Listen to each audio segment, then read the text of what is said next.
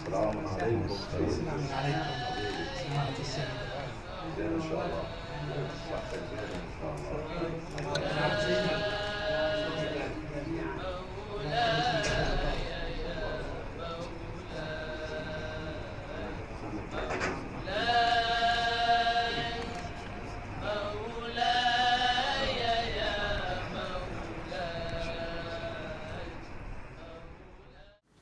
أعوذ بالله من الشيطان الرجيم بسم الله الرحمن الرحيم لا يجوز لهم النبش لإتيان بذلك إن أوجب النبش للقبر هتكا للميت.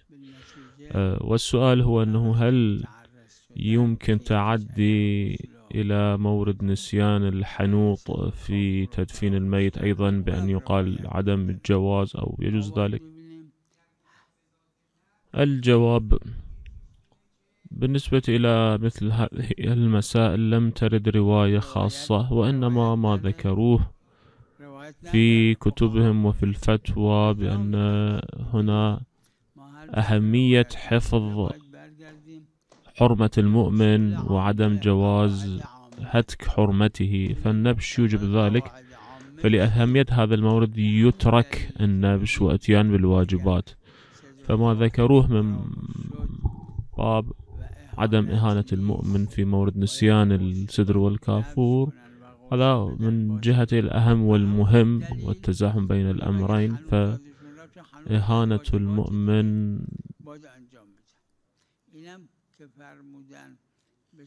لا يجوز هتك حرمة المؤمن وهذا من المحرمات الكبيرة الإهانة الهتك.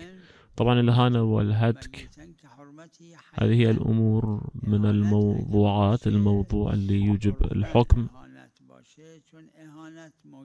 وقد نعلم بأن الإهانة أهم من بقية الأمور. فلذلك يترك نبش القبر ويترك الحنوط كما أنه يترك الستر والكافور في مثل هذه الموارد.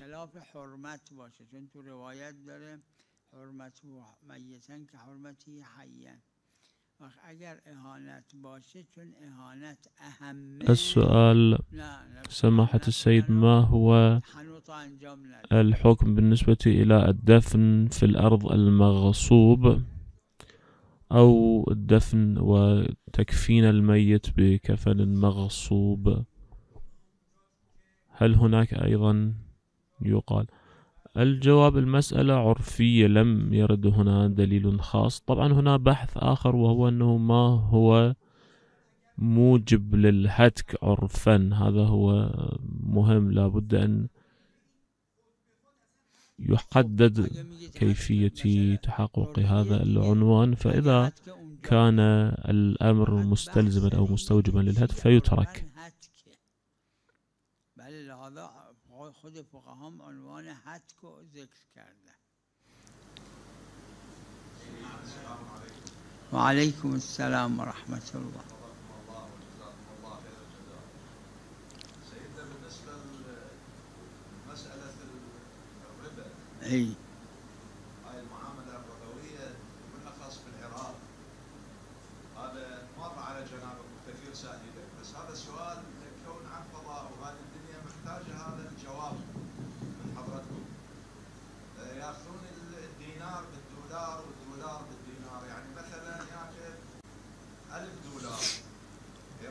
اي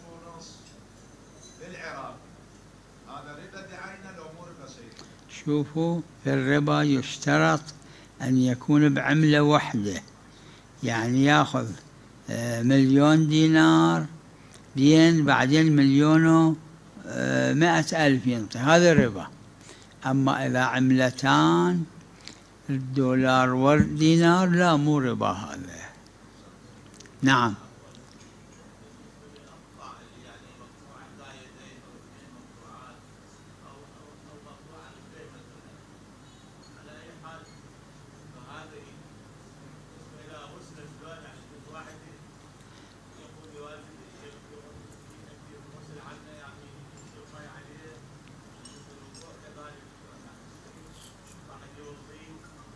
اي ما يخالف.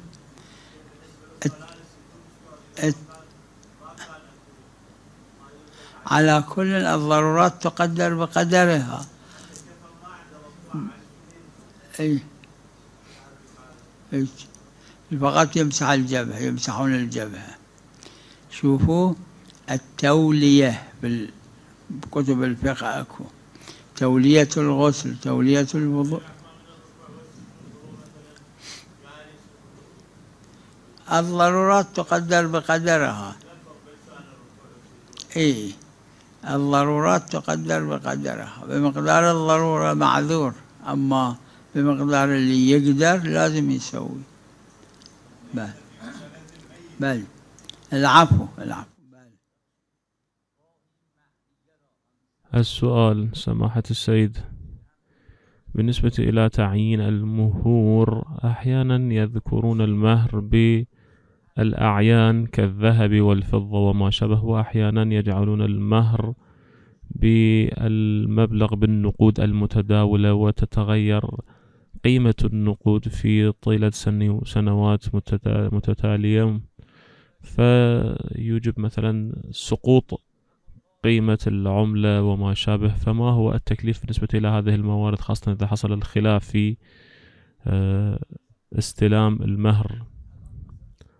الجواب آه، نحن ذكرنا هذه المسألة في هذه الجلسة سابقا وبالتفصيل وبينا بأنه النقود التي تجعل للمهر فهنا للمقدار المعين حيث تعليلي لا تقييدي.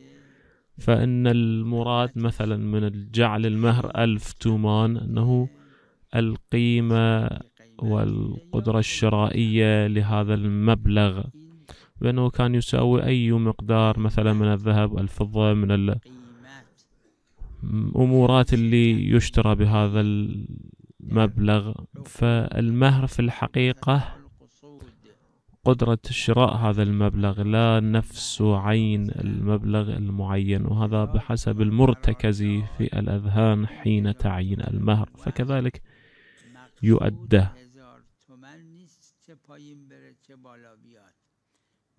مقصود اینه که هزار تومن اون وقت قیمتش چقدر بوده؟ با هزار تومن چی می‌دادن؟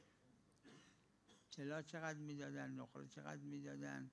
برنج چقدر می‌دادن؟ گوسفند چقدر می‌دادن؟ میونگین قیمت میونگین قیمت اون وقت چقدر بوده؟ اینه که مهریه شده. نه اینکه هزار تومن. آه.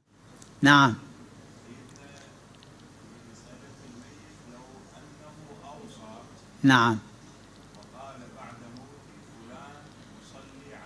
نعم. نعم بعد موته بأشهر أو بسنة الوارث تبين له أن فلان الذي أوصى الأب أن يصلي عليه أنه ليس بعابد أي.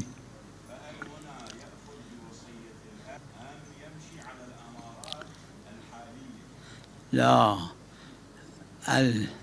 الميت له الولاية إذا أوصى على من يصلي عليه من يغسله من يدفنه وإن لم يكن عادلا. مو لازم الصلاة إلا إمام جماعة يكون حتى يحتاج إلى العدالة. لا لا. ما يخالف ما يخالف. بس اللي لا يعتبره عادلا أصلا صلاة الجماعة آه، مو معلوم وجوب إمام الجماعة يكون عادل لأن مو صلاة أصلا. هذا الدعاء مجازا سمي بالصلاة. لا ركوع به لا سجود به لا لا صلاة إلا بفاتحة الكتاب لا فاتحة الكتاب به لا صلاة إلا بالطهور لا طهور به هذا مو صلاة أصلا ما يخالف. إذا أوصى يجب أن يصلي ذلك. نعم فشيء أكو وهو أنه ما دام الميت كان حيا وأوصى. إذا الرجل اللي أوصى له أن يصلي عليه إذا رد قال ما أصلي أنا عليك. هذا بالإجماع مو واجب عليه. أما إذا ما رد في حياة الميت بعد الموت هل له أن يرد؟ محل خلاف بين الفقهاء. بعض قالوا لا ما له حق أن يرد. ما دام حياة الشخص الميت ما رد هذا لازم يصلي. بعض قالوا لا ما يصير واجب عليه محل خلاف. السؤال سماحة السيد إذا أوصى بأن يصلى عليه أو يصلي شخص معين وذاك شخص لم يعلم في زمن حياة الميت بأنه هو الذي أوصى الميت بأن يصلي عليه فهل هنا أيضا يجب أن يقوم بذلك؟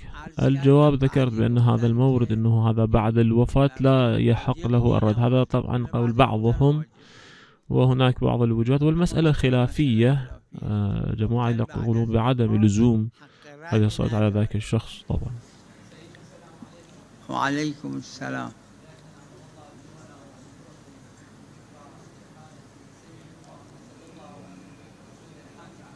مشكور.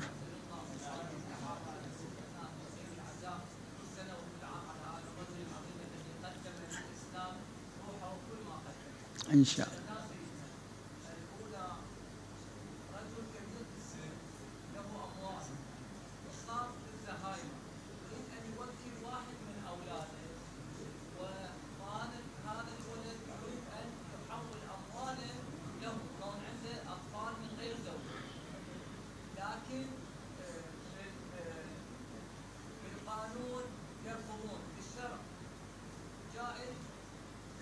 حسب ما هو قايل.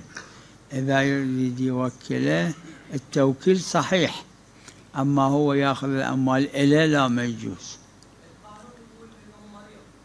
ها؟ ها؟ شو؟ لا لا. شوف إذا مريض بحيث ما يشعر. إيه صحيح. التوكيل مو قبول. مو صح... لا لا شرعا ما يصير.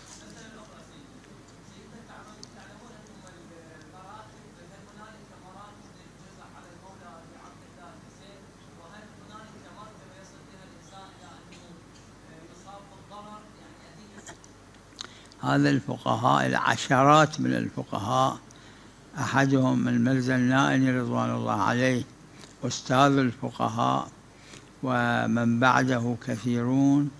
قالوا ما يخالف؟ إذا أحد ثلاثة أمور ما يصير. يتضرر ما يخالف. أما إذا ما يموت يعني إذا يجري له هالشكل يسوي يموت ما يجوز. إذا يجري له هالشكل يسوي قوة من قواه تتلف يعني عينه تعمى سمع الأذن يروح. لا ما يجوز. الثالث إذا يصاب بالأمراض العظيمة كالسل والسرطان وأمثال ذلك. غير هالثلاثة إيذاء البدن في شعائر الإمام الحسين عليه السلام وفي الشعائر المقدسة لعامة أهل البيت إيذاء البدن ما يخالف بل هو مأجور. سلام عليكم.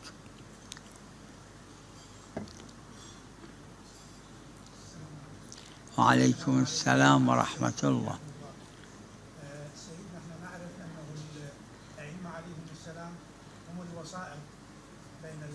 يعني بين السماء والارض للامور جميعا لكن هناك انتشر في بعض الفضائيات لبعض اخواننا بانه آه، علي بن ابي طالب هو الخالق وهو الرازق هذا نعم وان كانت له القدرات هل هي هاي وظيفة الإمام أمير المؤمنين عليه السلام كما في بعض الفضائيات الآن؟ في الدعاء الشريف وارد وفي روايات كثيرة أيضا الدعاء يقول لا فرق بينك وبينهم إلا أنهم عباد عباد عبد عبد. أهل البيت عليهم السلام عباد لله عز وجل وأشهد أن محمدا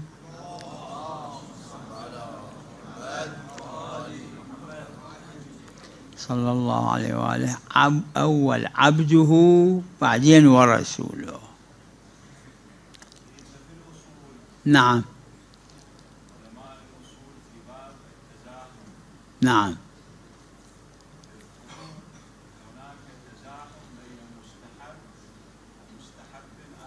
نعم.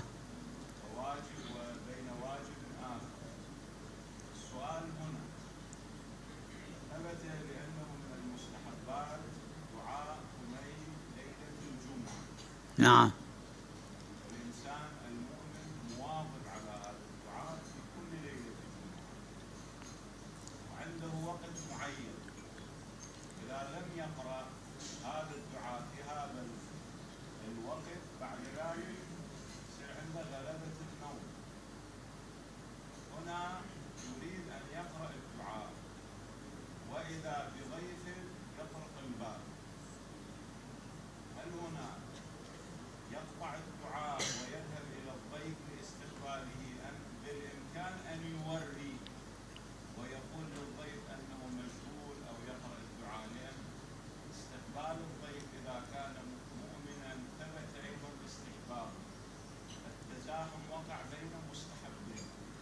الواقع التزاحم سواء بين الواجبات أو بين المحرمات بعضها مع بعض أو بين الواجبات والمحرمات أو بين اللا اقتضائيات مستحبات مكروهات. إذا أحرز من الأدلة الشرعية أهمية أحدهما ذلك المهم يقدم. جماعة من العلماء أحدهم النائني رضوان الله عليه وآخرين هذول قالوا حتى إذا احتمال الأهمية أكو. هذا اللي جماعة آخرين لا يقولون به أنا هم لا أقول به. يقدم. أما إذا مح- مو محرز الأهمية يكون مخير. هذه الموارد تختلف. تزاحم صار بين الدعاء الشكل وبين الضيف. تزاحم صار بين الدعاء الشكل وبين مستحب آخر وهكذا. كلما أحرز من الأدلة الشرعية أهمية هذا المستحب على ذلك المستحب يقدم. مو مو مجرد ثبت لا استحباب حتى ولو بقاعدة التسامح.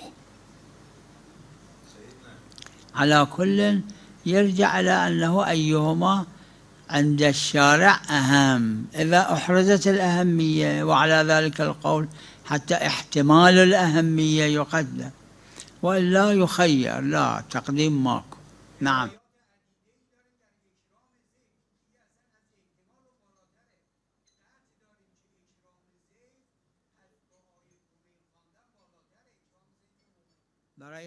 على كل المسألة راجعة إلى إحراز الأهمية عند الشارع. وعلى ذاك القول أنه احتمال الأهمية يكفي في التقديم وإلا لا لا فرق. اکرام ضیف مقدمة. یا موارد فرق میکنه خلاصة باید دید هر جا هر کی. احراز اهمیت کرد فبها. بله.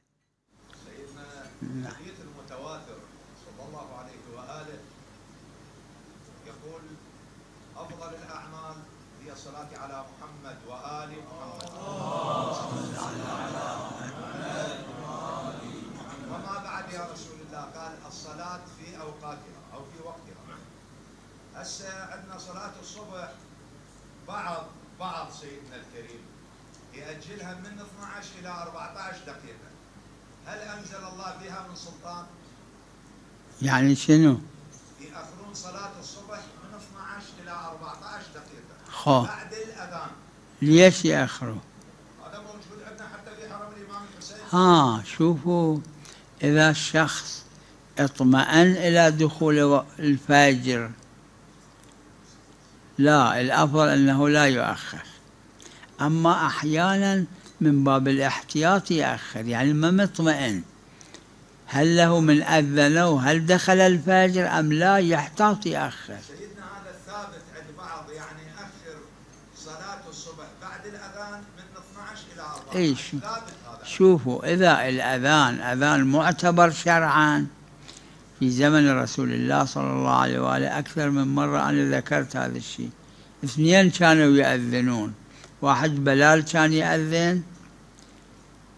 واحد ابن أم مكتوم رجال كان مكفوف البصر. كان يسأل من هذا وذاك. طلع الفجر أي واحد يقول له إيه؟ يروح يأذن. رسول الله صلى الله عليه وآله في شهر رمضان قال إذا أذن ابن أم مكتوم فكلوا في شهر رمضان. وإذا أذن بلال فأمسكوا يعني لا تأكلوا إذا الأذان معتبر لا تأخير ما يحتاج. أما إذا الأذان واحد يشك به أنه معتبر أو لا إيه يأخر في محله. يرجع يرجع إلى المكلف نفسه. واحد يشك واحد ما يشك.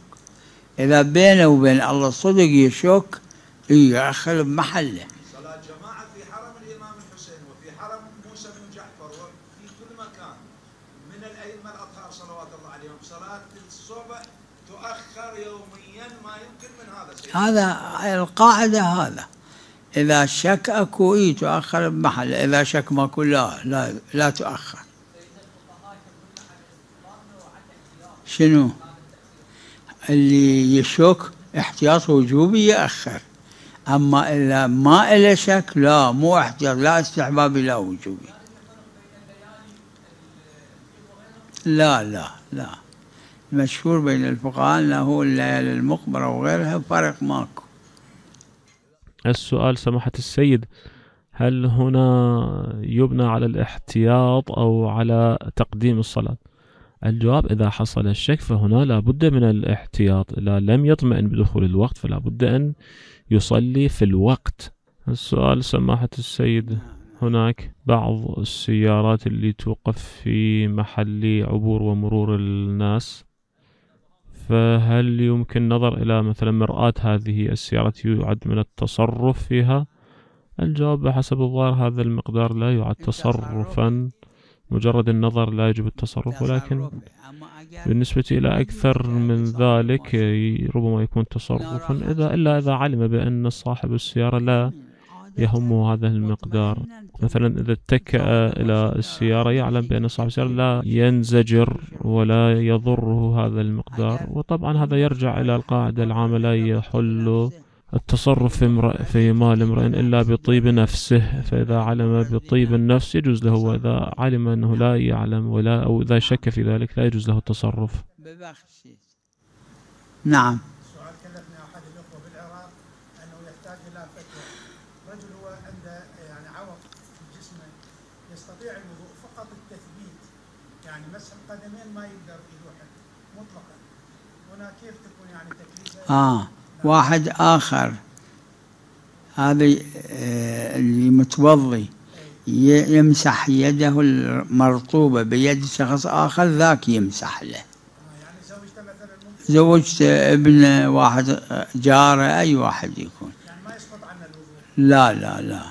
هاي المسألة موجودة في كتاب العروة الوثقى والفقهاء هم أفتوا هكذا. السؤال سماحة السيد إذا طلبوا من رجل الصلاة على الميت ولكن لم يكن حاضرا حين أداء الصلاة. وجماعة آخرون صلوا. فهل هناك يجب على من أمر طلبوا منه الصلاة أن يصلي؟ الجواب إذا أتوا صلاة الميت وتم ذلك فهذا كان تماما ومقبولا ويجزي. نعم إذا كان الميت قد أوصى بالصلاة عليه من طرف شخص معين وقبل ذلك الشخص الصلاة فهنا عليه أن يؤدي هذه الصلاة على الميت.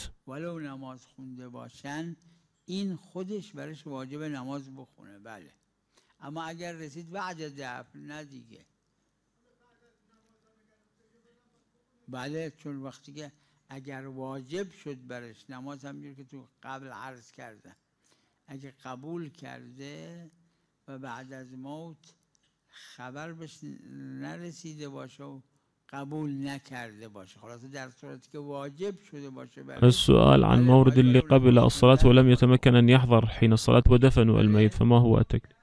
الجواب ذكرنا أنه يمكن له أن يأتي إلى القبر ويصلي على القبر إلى يوم وليلة إلى 24 ساعة. تا 24 ساعت. بر, بر روی قبرش نماز. بله بله. سلام علیکم و رحمت الله بله؟ عرض کردم.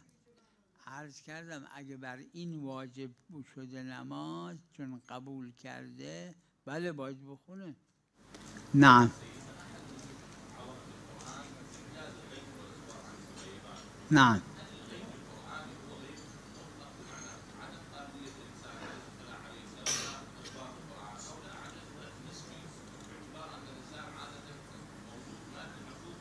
الواقع الغيب مختلف. بعضه من هالقسم بعضه من هالقسم كل مو شكل واحد بلي بلي. نعم.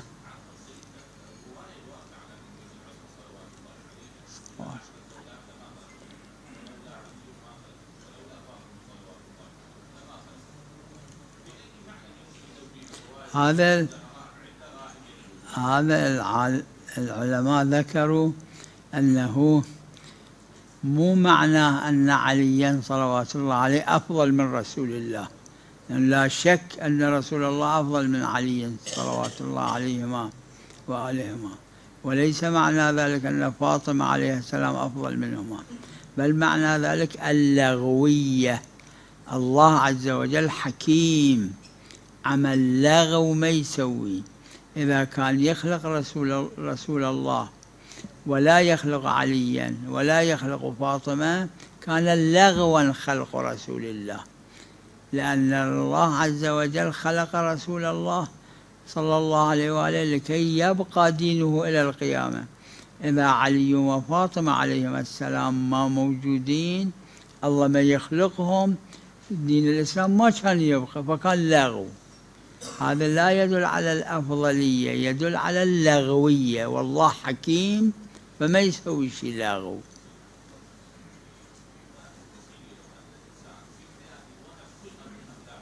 أي أي.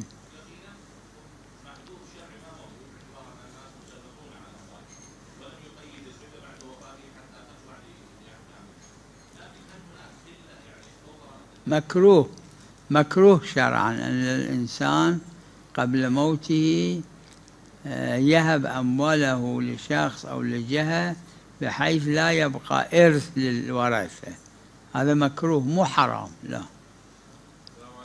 وعليكم السلام في بعض النصوص التاريخية يعني خاصة في كتب المقاتل يعني في خطابات الإمام الحسين عليه السلام أو في أفعاله يعني مثلا لما أصيب الإمام الحسين عليه السلام بالسهم المثلث يقول فأخرج السهم فانبعث الدم كالمنجر فأخذ ذلك الدم فنطق به وجهه ولحيته فإن السؤال أنه هذا الفعل ألا يعتبر فيه نوع من الضعف يعني لا. لا. لا هذا من باب إتمام الحجة على الأعداء. حتى الأعداء شافوا هذا الشيء مع ذلك بقوا على عداوتهم تتم الحجة عليهم. لا هذا مو معناه ضعف.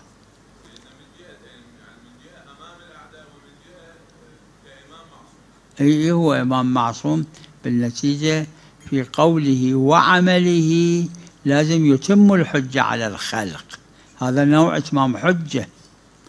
حتى نوع من لأن يجوز بعض ما شافوا من الأعداء. أما من آه، الإمام خلى الدم على وجهه بعض آخرين شافوا إتمام حجة صار عليهم المسألة الثانية أنه الحكم المباح يعني يدور مدار الأحكام الباقية يعني مثلا المشي في الشارع هو أمر مباح لكن لو أنه الإنسان تصدق مثلا على فقير هل أنه هذا الفعل المباح يتحول بالكامل إلى مستحب ليش لا؟ ليش لا؟ ليش لا؟ نعم. نعم. لأنه المباح والمستحب والمكروه والواجب والحرام هذا كله على حسب التعبير الفقهاء. لا بشرط لا بشرط يجتمع مع ألف الشرط ما يخالف. عليكم السلام. العفو لحظة لحظة.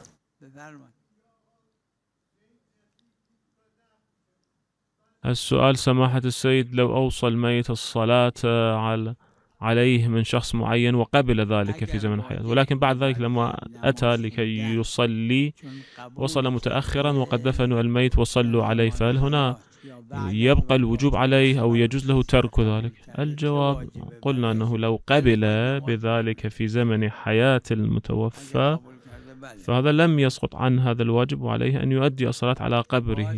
باشه. از اونا ساقط شده اما از این ساقط نشده. نعم. أهلا وسهلا أهلا بكم جميعا. إن شاء الله مقبولة مذخورة. إن شاء الله توفقون وترجعون سالمين إلى سالمين. أد- أدعو لكم بالقبول والموفقية إن شاء الله. وصلى الله على محمد واله الطاهرين.